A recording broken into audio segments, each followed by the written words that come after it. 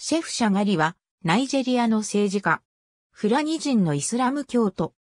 1979年から1983年まで、ナイジェリアの大統領を務めた。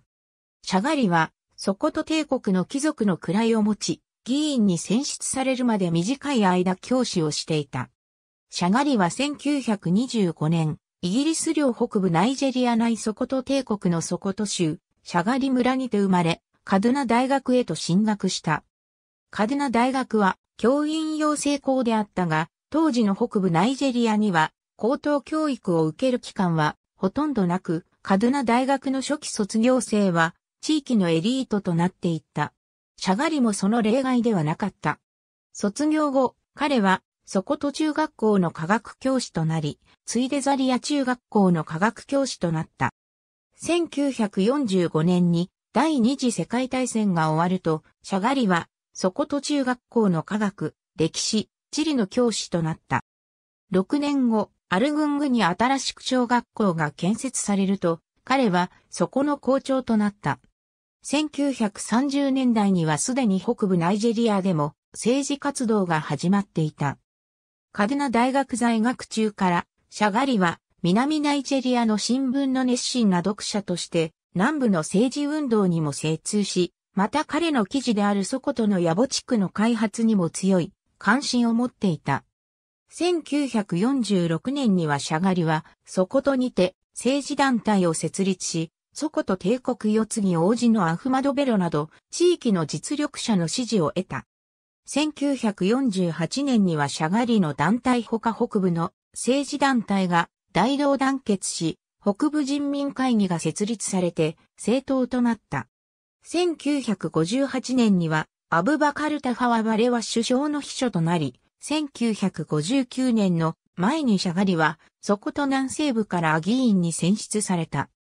1959年の選挙で北部人民会議が勝利し与党となると、1960年には経済開発大臣、1962年には総務大臣、1965年には労働大臣を歴任した。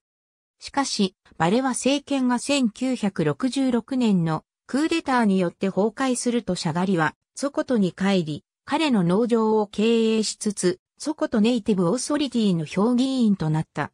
1970年に、薬部ゴーン軍事評議会議長は、シャガリを呼び戻し、経済大臣に、ついで財務大臣に任命した。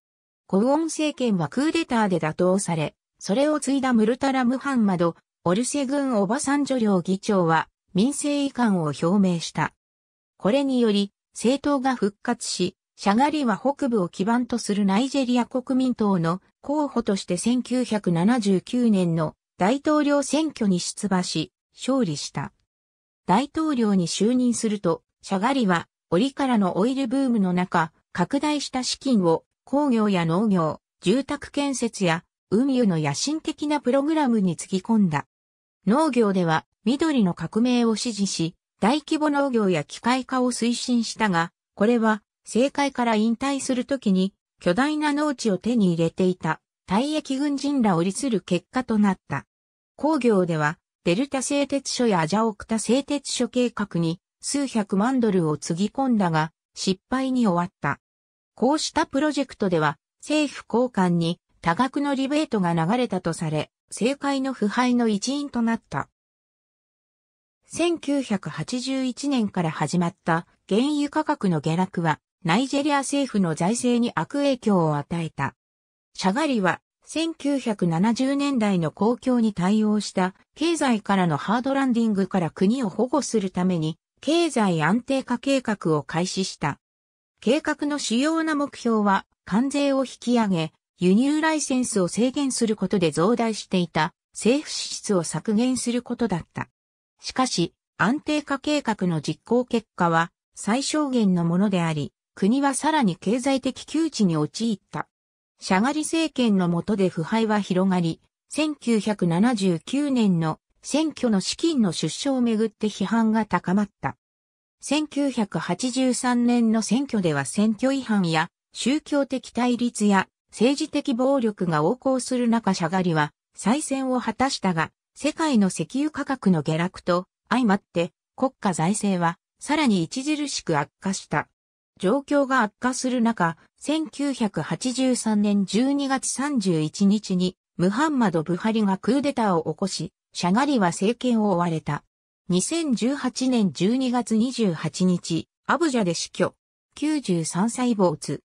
ヌフココ、アブバカーアチク、アルホジーシュースモンアリーシャガリ、GCFR83。デイリートライアンフ http コロンスラッシュスラッシュ www.nigeriavillagesquare.com スラッシュインデックス .php スラッシュコンテントスラッシュビュースラッシュ8612スラッシュ52008年2月26日閲覧シャガリナイジェリア元大統領死去。時事 .com https コロンスラッシュスラッシュ www.jiji.com スラッシュ jc スラッシュアーティクル k イコール2兆181億2290万265 g イコール inp2018 年12月30日閲覧ありがとうございます。